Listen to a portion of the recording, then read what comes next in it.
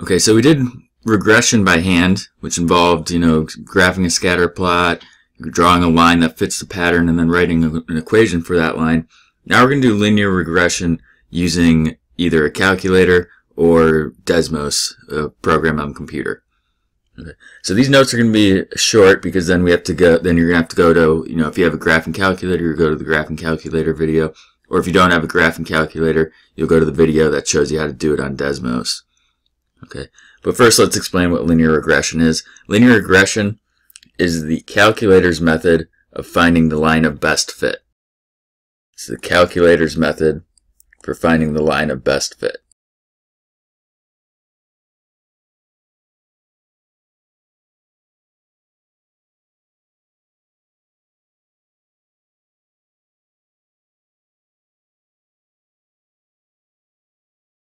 So calculator or technology is just any technology's method of finding the line of best fit. So before, when we did regression, we were just saying it was a line of fit. This is going to be the absolute best line that you could draw. Okay, doing it by hand is you know almost impossible to find the the line that works the best. But the calculator and technology can use can do that.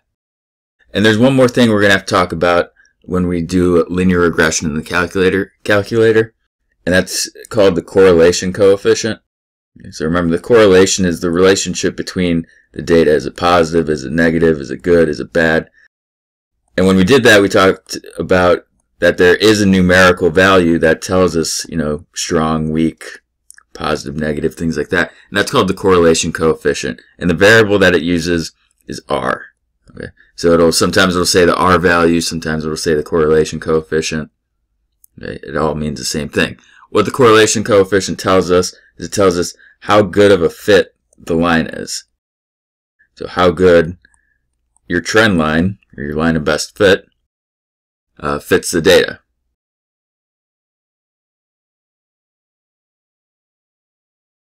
So like we said, it's going to be, there's always going to be a line of best fit. Okay. Now best doesn't necessarily mean it's good. Okay. So the best line might not be a good line. Okay. But you could draw a line for any any scatter plot, you could draw a line on it. Now, how good that line is depends on the correlation coefficient. Your correlation coefficient, your R value, is always going to be between negative 1 and positive 1. So it's always going to be between negative 1 and positive 1. If your correlation coefficient is negative, it means you have a negative slope. You have a negative correlation. If your correlation coefficient is positive, it means you have a positive slope. If your correlation coefficient is 1, so you have an R value of 1. That's a perfect positive correlation, which means it's just a straight line. So that would, you know, there would be all your dots in a perfectly perfect line with the same slope between them. So R equals 1, that's called a perfect positive. That generally doesn't happen when we're working with data. If you get an R value of negative 1, it's going to be a perfect negative.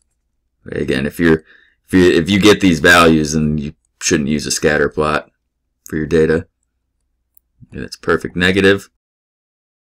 And the other extreme is if you get an R value of zero. R value of zero, again, you know, almost really never comes up because that would mean there's absolutely no correlation.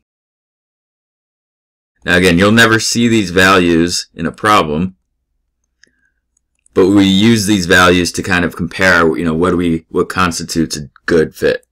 Okay. Now again, our correlation can be positive, negative, or none, but we said it could also be strong or weak.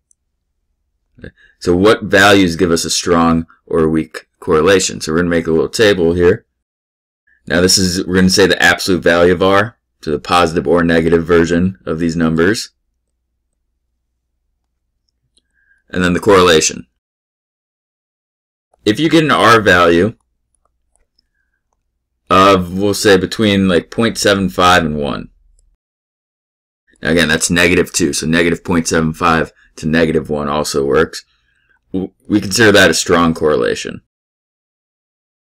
If you have an R value of, we'll say, 0.5 to 0.75, and again, that also works for the negative, so negative 0.5 to negative 0.75. That's a weak correlation. And if you get something between 0 and 0.5, That's just bad. That means it's pr- probably not even a linear pattern. So we'll just say that's bad. Okay. If you're getting an R value between 0 and 0.5, you, you shouldn't use a linear regression model to fit your data.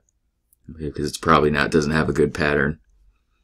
Alright, and that's all we need for linear regression. Now we're going to use the calculator, or we're going to use technology to find the equations and find the R values. Okay, again, all this is going to be done in the calculators. So this is all we need to know by hand. Okay, so the R value tells us how good the line of best fit is, and we're going to use linear, the calculator's linear regression to find the line of best fit.